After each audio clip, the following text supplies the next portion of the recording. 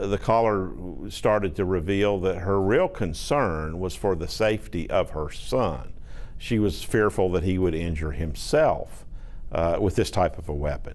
So after that, the the, uh, the the public service officer comes around yet again and says, "Is your son suicidal? Uh, has he made any threats against others, or has there been any dramatic change in his behavior recently that would would cause alarm?" And the answer to those apparently was no.